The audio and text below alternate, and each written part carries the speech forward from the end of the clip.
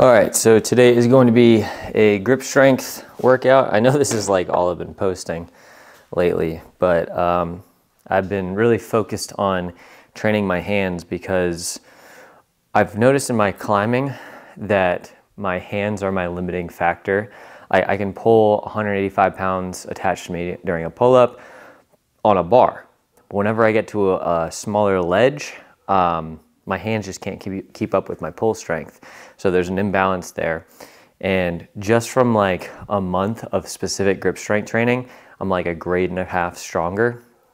Um, like the other day, just to verify that, I was, you know, I've climbed V8s in the gym before, but I wanted to see what, uh, how my strength was feeling like on an all rounded level. Like usually, whenever, if you've ever been to a climbing gym, they'll set and you've been going there for a while and you're like a member, the reason I say that is because uh, you get used to the routes there. And so on a weekly basis, if you're at a good gym, they usually set new stuff. So you get a whole new set from like usually V0 all the way up to sometimes V10.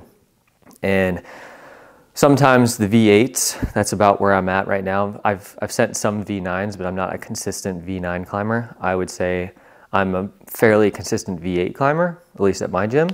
And uh, sometimes it would take me a little while to get the V8s. So the other day, I did a challenge where I wanted to climb every V8 in succession that is set at the gym. So they're all repeats, but I just wanted to verify that I still had the strength to climb them all in one set.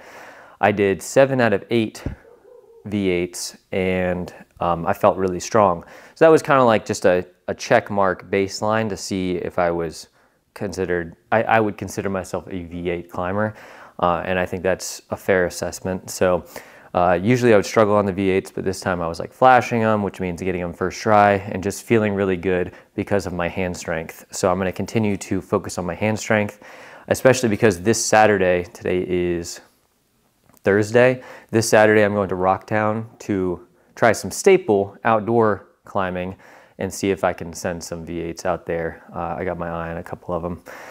But today I'm going to be doing a grip strength specific workout. I've changed a few things from the last one that I did. I've built some equipment, so I'll show you what I use. But I'm gonna stick with the same warm up I did last time, which is the forearm flexor and extensors, which is just this roly-poly machine. So 45 pound plate on here, just to warm up the forearms and get some circulation in my hands. So I'll do like 50 or 60 reps of this. Um, about three times and then I'll go into the actual workout. And sometimes I'll jump back and forth between this just to get a little more pump in my forearms because this, this is more of a stamina and pumpy workout rather than a grip strength, strength workout. And yeah, so I'll do 50 reps of this and not even really just strict reps. It's just to get the blood flowing and, and feel really good in my hands. Uh, flip it around. I don't know if that was 50 reps. It probably was like 30, but flip it around. Get a nice pump going through the arms and uh, that'll be my warm up. So I'll do this a couple times and then I'll take you into the actual workout. All right, so this is the newest creation that I've made. Let me move this light over.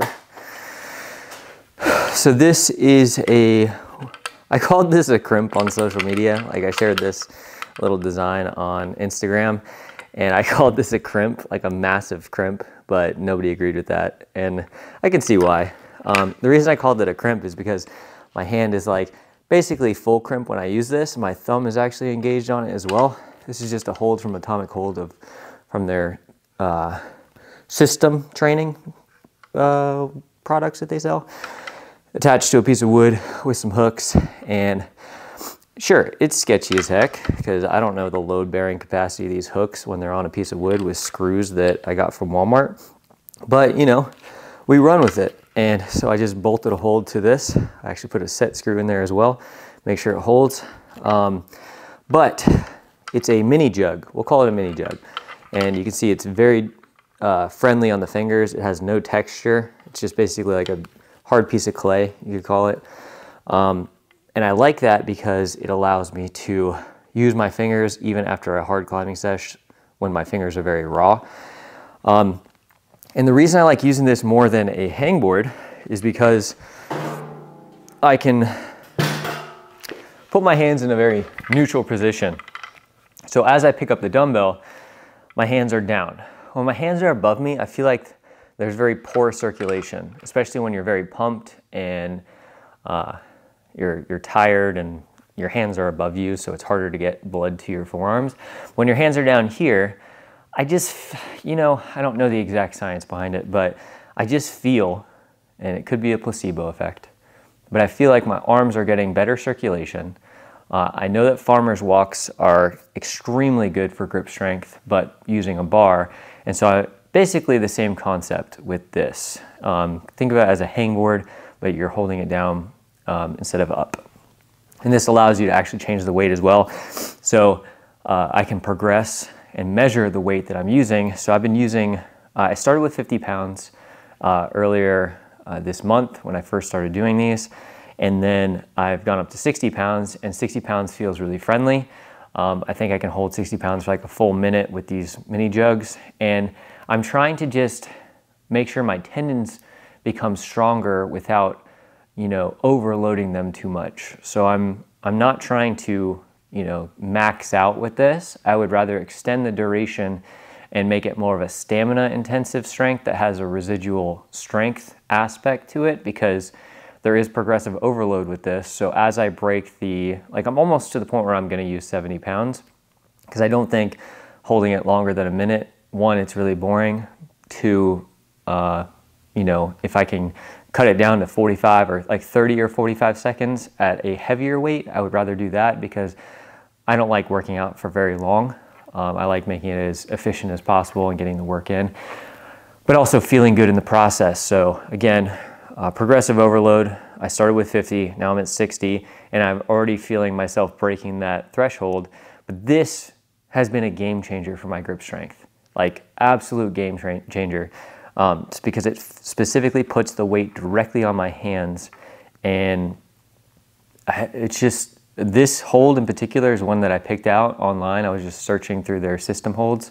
Again, atomikclimbing.com, not sponsored by them, not affiliated with them. I bought everything outright that I have from them. I bought a lot of products from them, but I think they make really good training holds and training equipment. And so uh, this one I spotted because I wanted to engage all of my hands in an ergonomic way, which means instead of like a hangboard where you have a flat ledge, this is more of rounded so you can crimp in a very natural position. And like this position here is where I want to keep my hand. And what I've actually found while doing these exercises that, you know, if my wrist is in extension, so a little bit back, then um, I don't feel like that applies to climbing as much as it would if I force my wrist forward, because then I feel all the tendons engage in the middle of my hand down into my wrist and then down into my forearm. Whether and if I'm in extension, all I feel it is like the tips of my fingers and in my forearm. It kind of eliminates the wrist flexion, if that makes sense. So like my hands like this, I don't feel it as much, but if I force my fingers forward into a flex position, I feel like, especially in training, you may not want to do that all the time when climbing, but for training and trying to gain the connection between my fingers and my forearms so I can activate that strong pull strength that I have, I want to make that connection. So uh, as I get warmed up, so I'll do a regular set of just natural position hold. So that just means however my hand feels the most comfortable. And that's kind of like in between flexion and extension. It's like right in the neutral position. I'll do a warm up set like that and I'll just hold it as long as I can or, you know, roughly 45 seconds ish and uh, that'll be my warm-up set because I don't want to like overload myself and do too many of these just because training your tendons, you need to spend a long time training them in order to avoid injury and uh, just progress in a very natural and, and long state because I want long lasting results that, you know, uh, stay with you for a very long time rather than uh, trying to just pull as hard as I can, get the results super fast, with the potential risk of setting myself back by popping a tendon or pulling or doing something silly because I've had that happen before and I'm uh, learn from your mistakes and try not to do that again. But yeah, warm up set, I'll hold these for like 30 to 45 seconds. I'll show you what that looks like. I won't hold it for the whole duration of time because that's kind of silly. Uh, but after you get the idea, I will show you the next session, which is me forcing my wrist into that flex position. And I'll try to get that on camera because it, it's pretty close to my hand. Um, I'll, I'll show you without weight what it looks like, and then I'll try to show you what it looks like with weight. But this is what the warm-up set looks like. I just hook these hooks underneath here and then put my hands, I set my hands in a very nice, like almost full crimpish style of, of pull, and I'll stand up. And as you can see, my hands are in a very neutral position. I'll actually push the pieces of wood into my hips a bit and just breathe in this position and really try to focus on, because these holds are so good that I can almost focus on each individual finger and monitor the pressure that's on them. So if I have too much pressure on one finger, I'll try to shift it over a little bit and just breathe. But right now I'm in a pretty good position and it feels really good. So I'll hold this for 30 to 45 seconds and I'll show you what the next set looks like.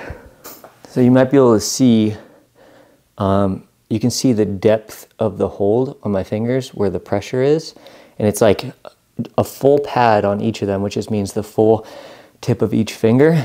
And it's a very, very friendly grip. And if you've ever rock climbed before, having no texture sometimes feels really weird. But this hold in particular just feels amazing on the hands. And I just wanted to show you where it was resting on my hands. All right, so now I'm going to try my best to show you the flex position. So when I am holding this and I am straight like this. My hand is kind of like pushed up against this and it's very neutral and it's just, it's a very controlled position. So what I try to do to engage my wrist flexors and create that, that tendon connection throughout my forearm is push my fingers forward like this. Still keeping majority of that like kind of claw-ish grip. So I don't want to like flatten my fingers out because that's risk of injury. I still want to keep my fingers in the same sort of position and just kick my wrist forward. So it's like this. And I just focus, it's kind of like a wriggle because as I'm pushing outwards, my fingers do want to kind of flatten out and I want to resist against that to create the uh, strength in the areas that I want to target. And so I'm holding it like this and I just wriggle my hands forward and it's easier to do with weight on because there's something pushing you down in this position. And I'll just force my wrist into this position and it's one of those weird things where it's like, unless you try it, it's gonna be very difficult to know what I'm talking about. But that position, as soon as you come out away and you're flexing in that position, you can feel it all the way down. The entire arc of your finger tendon into your, I think they're called your lumbricals, which are like the middle of your hand, down into your wrist, and then that goes down into your forearm. And that connection is honestly what I think has increased my hand strength by a lot. And yeah, it's just that neutral claw and engaging all your fingers. Because the weird thing is my thumb is really engaged in this hold. Like I'm actually engaging this thumb flexion while crimping on that. It's not like my thumb is on top of my pointer finger like a traditional full crimp. It's like half crimp kind of open hand and I'm sque I'm just squeezing like this and I'm holding that position as long as I can. And I think this position is just so healthy when you progressively overload it. And that's why it feels so good. And I do this like probably three times a week and it's just felt tremendous. Like especially after a climbing session when I'm totally burnt out, still staying with the same weight because I want to build that tolerance over time and avoid injury. And then uh, I think next week I will kick this up to 70 pounds um, and see how that feels. I could even do 65 pounds, but I think, you know, if I can hold this for a minute, then I should be able to go up 10 pounds and just strug fest through it. Um, the only thing is, though, I might throw in, because changing the weight is not very hard, but whenever I train grip strength, I try to rotate through exercises fairly quickly. So I don't want to have to keep like changing the weight, setting them back up, moving them around, especially because I, I use my hands when moving heavy weight around, because obviously you have to pick it up and, and change the weight. So I want my, my hands to be resting while I'm resting. Like I don't want to be changing the weight out while I'm resting to train grip strength. And so what I might do is I might throw in a finger training warm up or something with some like eagle loops, which are these blue finger loops that if you see these, these are some of my favorite training tools as well because they are also ergonomically shaped. As you can see, they are not in a flat line. When I put my hands or my fingers into these, they are, my two middle fingers are higher than my pointer finger and my pinky. So it just feels, it's that claw strength and that could be why they're called eagle loops because it's like an eagle claw. But I might throw in some just light finger warm-ups uh, before jumping to 70 pounds with these. Um, just, just before I, you know, I just don't like making the jump that fast. And so I might do a little warm up prior to and just keep these at 70 pounds. And that could just be grabbing onto a, a semi heavy kettlebell and having that set up over here so I can warm up with that, rest for a second, and then go straight into my workout with these things. Uh, I'm gonna continue, I got a, some tool, tools for Christmas. Um, my in-laws got me some Milwaukee drills, which I'm super excited about. So I will be using those to build more equipment and try to spice things up and just make different stuff like these, uh, I don't know what you call them, portable hangboards, whatever. We'll just say, say that for now. Um, but yeah, so this is what the uh, next, the forearm flexion work looks like with weight. And it's, I cannot hold this position for 60 seconds. I don't even think I can hold it for 30 seconds, um, but because it's very challenging to flex your fingers forward. But it just depend, depends on how I feel. This is a grip strength focused workout today. Um, I won't. I haven't done any climbing or anything today. I climbed last night, and so uh, this is what it looks like when I grab onto these. I'll set up the same way as the first one. So Nice neutral grip. This is neutral. And then all I'll do is I'll flex my forearms or my top of my wrist forward and I'll hold this position. And this feels really good. Like can feel it all the way down my fingers. And I'll just breathe in this position, hold here. Sometimes I'll even do like bent over engage rows. Obviously that's not a full rep because it gets a little sketchy. I don't want my fingers to like pop or something like that, but that's for another day. But I'll hold in this position as long as I can or till about like 90%. And I can feel it all the way down my hands. And then just put them down, rest for a little bit. Um, I'm not timing my rest times. Um, I would say they're about two minutes between each one of these sets. And I'll repeat this probably like four times. Uh, and then I got a couple other exercises I want to show you all um, that will help with like Gaston strength or um, there was something else. Oh, and pinch strength. So pinch strength has been one of my weaknesses for a long time. And I'm trying to focus on ways to isolate that in training. And I found a really cool way to do that. So I'll show you that in a second.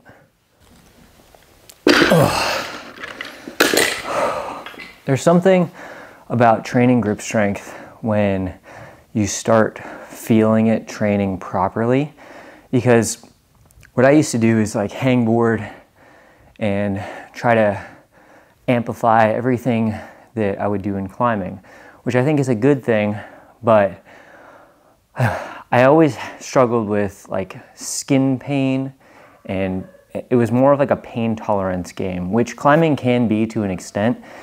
Um, it's just, you know, fighting through the pain because we can't control things like our skin burning when our muscles aren't that fatigued.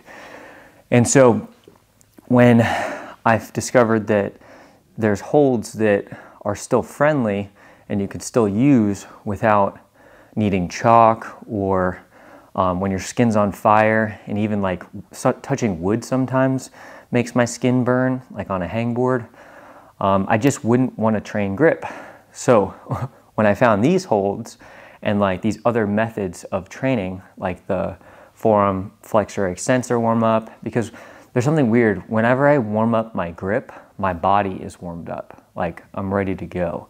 I don't know if it's a mind connection because there's so many fine uh, motor units and you your brain has to work very hard in order to engage your hands.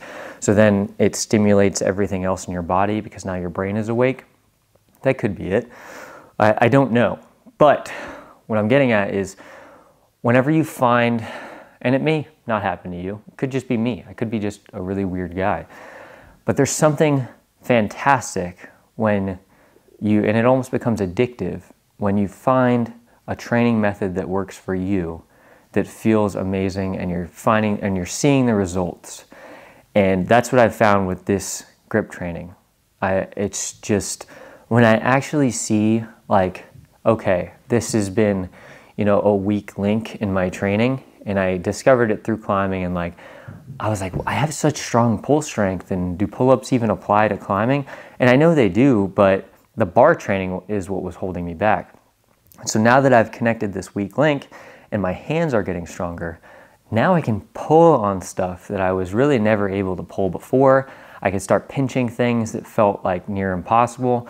And I can use that pull strength that I've already acquired through doing weighted pull ups and different various pull exercises. And it's just, there's something super addictive and super inspiring about it. And that's why, like, I find myself like having to tell myself not to train grip strength some days because I know my body and my tendons need to rest. But there's, it's just something that, you know, I wish you could experience if you, and if you do, let me know because that would make me feel a little bit better and less psychotic because uh, I am just obsessed with training my hands. Like, I want my hands to become rock crushers. And this is the first time I've really felt like there's a way to measure and train and progress safely and, and keep that longevity of training and, and just feel strong. Because when your hands feel strong, pretty much everything else starts to feel strong because these are our, this is our, you know, human ability is to grab things. I mean, besides, I think monkeys, like not a whole lot of animals can grab things. And so, I mean, monkeys are strong as heck, right? I want the strength of a gorilla in my forearms. But what I'm getting at is training grip strength and being able to measure it and see the results and then apply those results into uh, a practice like climbing and actually feel the training paying off. There's something that clicks and I'm just, I'm super obsessed with it. And this was just during my rest time, I wanted to share that with you. I have one more set of this, and then I'm going to get into the uh, Gaston and pinch training. If you don't know what a Gaston is, I'll show you what it is in a second. All right, so this one's a little weird. Um, you have to have a pulling machine to be able to do this. Uh, and it's just something that after my grip strength training, you know, my hands are pretty fatigued from that, those isometrics and hangboard training. Uh, I'm taking, this is just a Metolius campus rung uh, hangy thing. I don't really know, I think these are called campus rungs. But anyway, it's got different size ledges on it. The top thing, I don't really use the top thing. I use it mainly for the 20 millimeter and the 15 millimeter. And I just attach this to my pulley machine, but I do it in uh, a reverse way. So a Gaston, when you're climbing, is the ability to hit something from the side and provide, it's like counter compression. So pretend there's like a hold that's at an angle like this, and it's right here in front of me. And so I'm coming from the left to the right, and I'm gonna need to put some sort of pressure on this, but it's the hand is reversed, right? Usually when we think of basic rock climbing, we're just using our hands like this and climbing like a ladder. So Gaston is side compression. So we're over here, we come up and our hand goes to the side and we are locking in with our lat, our hand strength, and pulling ourselves into that hold, but using it as counter compression. So instead of pulling and going to the right like this, I am pulling and just kind of coming into the wall and wherever the next hold might go, this is what a Gaston is. It's where you're coming out to the side and your hand is pulling this way to hold compression on the wall. Don't know why they call it a Gaston. It could be because Beauty and the Beast and the Gaston's a big dude and it's kind of like a shouldery, powerful move. Could be why. But the way I do this is traditionally, if you wanted to train grip, you would just pull on it and you would hold, you know, one on each side and you'd pull down like this. For Gaston specific training and trying to activate my rhomboids, my traps, and everything that surrounds my upper spine, I am holding on to, I'll probably start with the 20 millimeter ledge and work my way down to the 15 just to get a nice warm up in. I'll hold one like this, come underneath, and I'll try to switch. So if I go underneath this time, my next set, I'll go over just to try to balance it out. It's probably not gonna matter that much, but just for my own brain. So I'll hold it like this, and you see, I'm basically gonna pull these apart. So activate, so I'll get a nice crimp going, pull these apart, and I'll hold in this position. And what I'll do is from a locked out position, try to engage even more. So from here, I'll pull, hold as hard as I can, and just isolate in this position.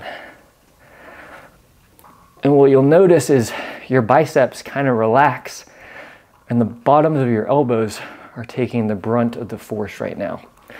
So try to engage my spine, or not my spine, the muscles surrounding my spine. Come in, out, come in,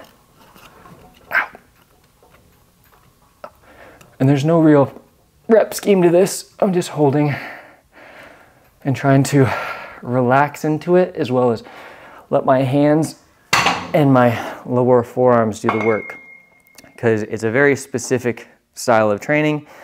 Um, and I feel that on the bottom of my elbow right here the most. And it's almost like a contraction as well as a stretch because I'll get to a certain point. So I'll do that initial pull and it'll feel like I can't go any further, but then I'll kind of breathe, relax a little bit.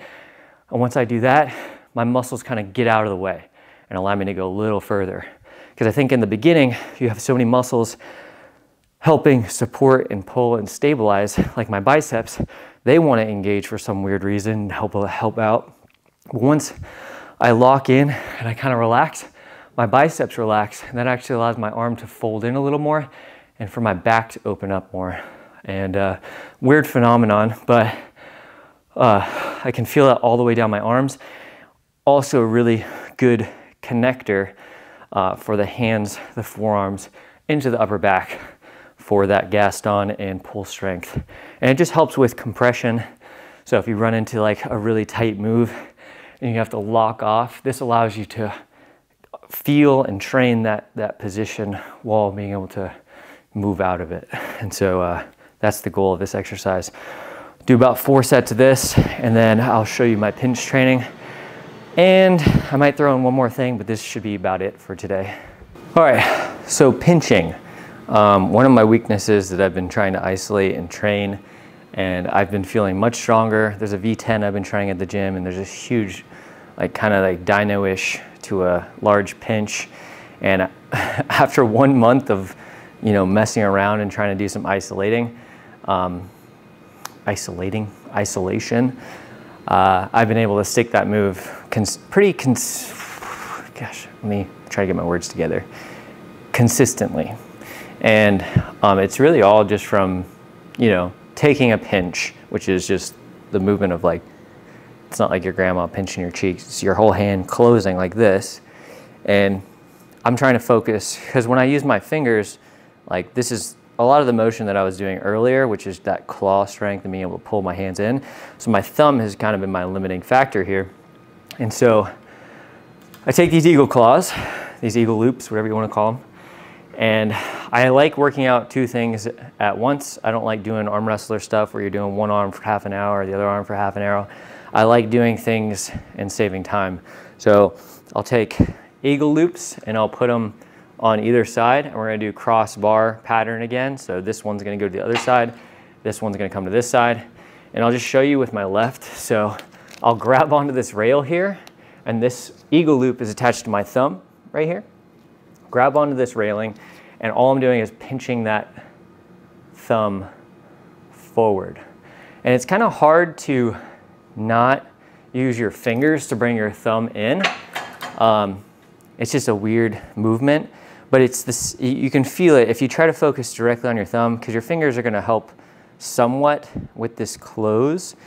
Um, but what I do is I'll go and I'll pump my hand out for like, you know, 15, 10, 15 reps, and then I'll hold the closed position and I'll force my thumb forward and trying to squeeze my thumb into that bar. And that really does the trick on feeling it uh, all the way down my thumb flexor and all the muscles that attach to my thumb. So this is what a set of this looks like. Put my thumbs, try to get my thumbs in like a friendly position, very even on both sides. Grab onto the bar and then just squeeze.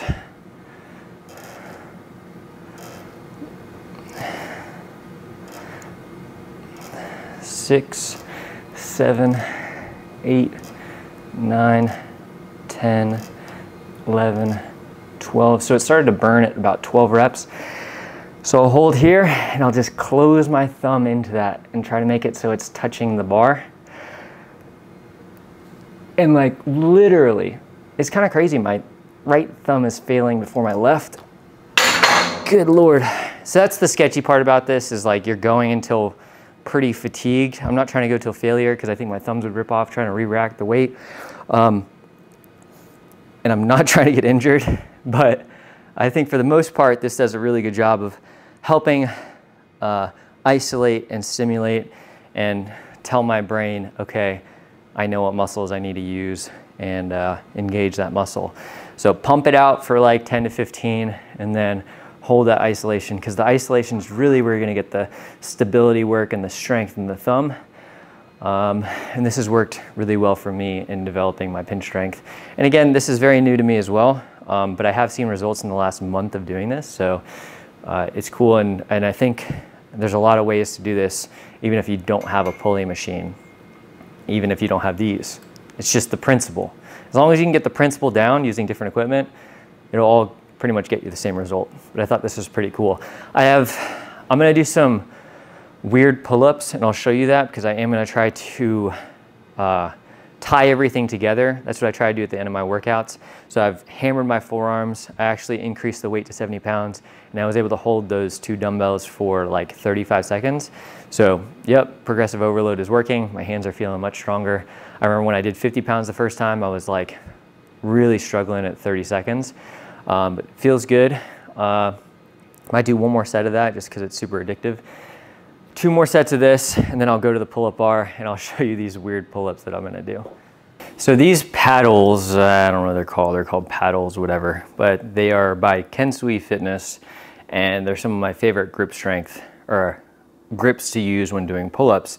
And uh, it's kind of like, if you've ever used a Magpul, uh, lat bar, whatever you call it, like a row, um, same thing applies. This paddle here keeps your hand nice and uh, flat, and very ergonomic and you can almost, the grip is nice and well rounded as well, but you can push your hand into that which helps create compression when you're doing your pull and it makes the movement feel a lot more fluid. So I use these um, like 50% of the time I'm doing pull-ups just because it feels very good on my body. And so I'll put these up a nice kind of maybe a little bit less than shoulder width. Move some of this out of the way. And the reason these are weird, these weird pull-ups, is because I'm sitting on this sketchy little seat. What I'm trying to do is work on the top compression because that's where I, I have really good lower pull, like from here to about 90 degrees.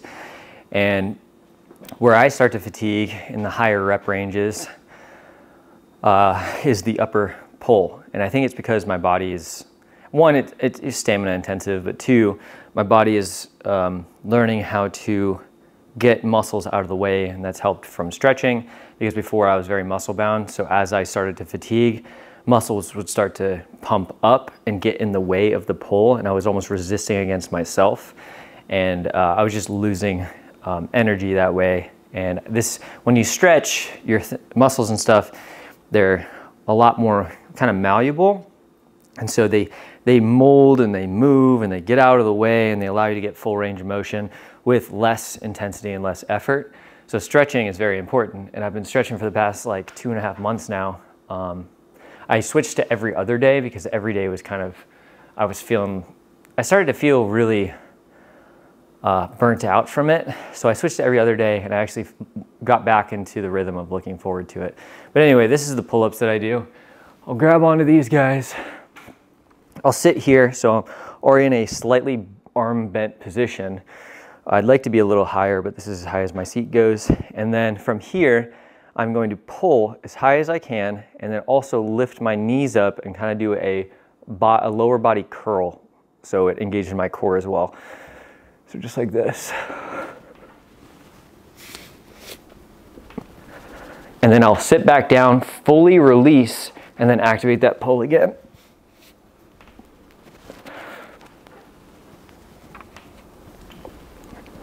Try to keep it nice and controlled.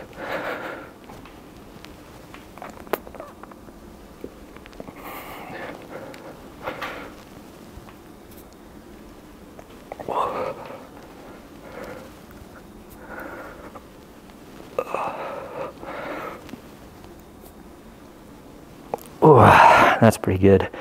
And all I'm doing with that is one, working on one of my weaknesses, which is the high position, and two, tying everything together because I'm no longer uh, using small holds to do pulling or stationary isolation.